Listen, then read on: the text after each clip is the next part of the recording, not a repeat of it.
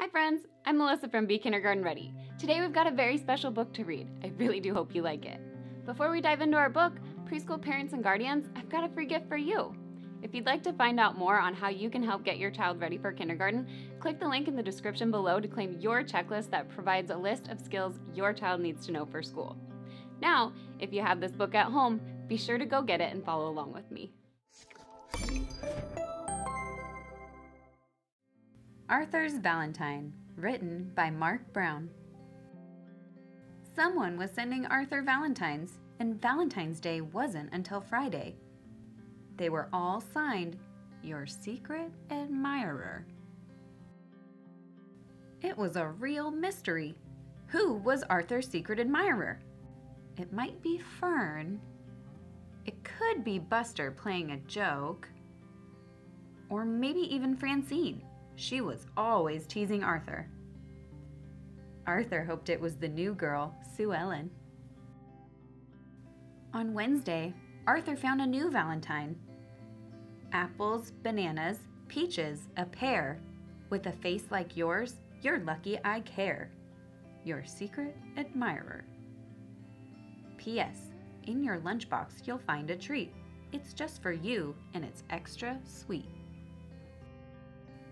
Arthur hoped it might be chocolate, but at lunch he found this note Candy is sweet, lemons are sour.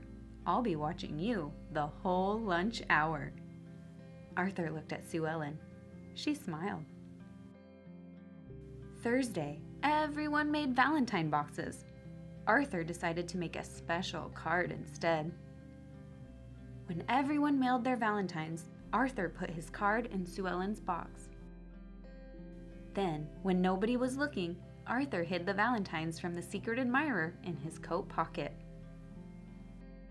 After school, Arthur took off his coat to play soccer, and all the valentines fell out. Everyone laughed. Buster called him Lover Boy.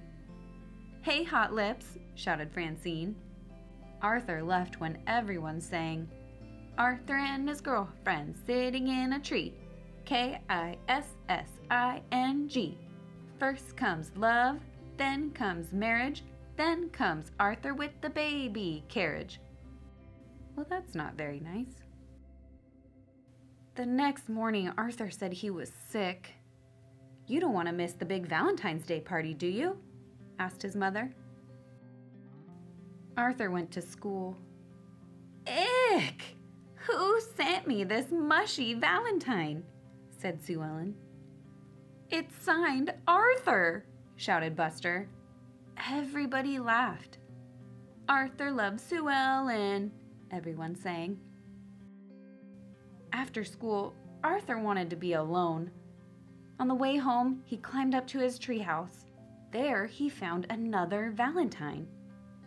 I love you in London. I love you in Rome. Look in your mailbox when you get home.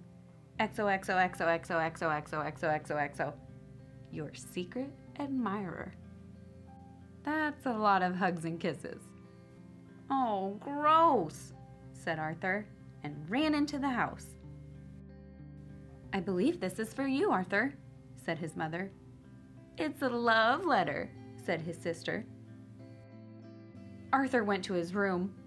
There was a movie ticket in the card. My love, tomorrow is the day. We meet in row three, you in seat A, me in seat B. Your secret admirer. On the card, Arthur saw a smudge. He looked very closely. Something had been erased. There was an F and an R and an A. F R A N C I N E. Who could that be? The next day, Arthur had a plan. He ran to the movies so he wouldn't be late. He found row three. He sat in seat A. Francine smiled at Arthur. So you're the secret admirer.